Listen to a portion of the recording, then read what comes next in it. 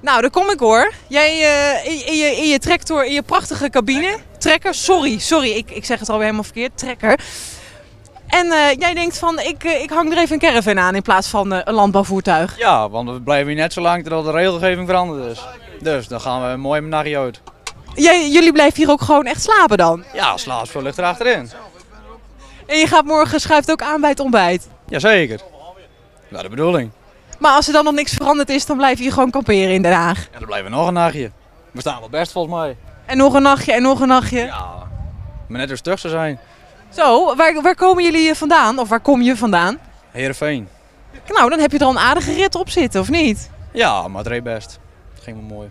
Hoe eh, was het op de wegen? Want ik weet niet of je ook nog naar Utrecht bent geweest, maar... eh, Nou, eerst naar, eh, naar eh, Beeldhoven en daar ging het op zich wel mooi. En toen eh, naar Den Haag toe, dat was smoordruk. Dat duurde heel lang.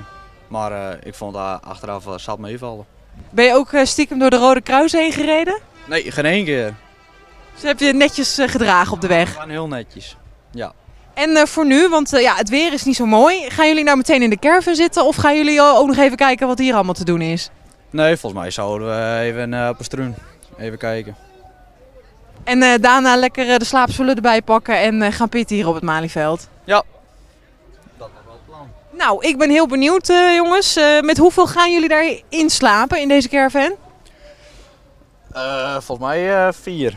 Nou, dat wordt aardig proppen dan nog. Ja, maar dat past. Heel gezellig. Nou, ik uh, wens jullie heel veel succes en morgen weer fris en fruitig aan het ontbijt, hè? Komt zeker goed.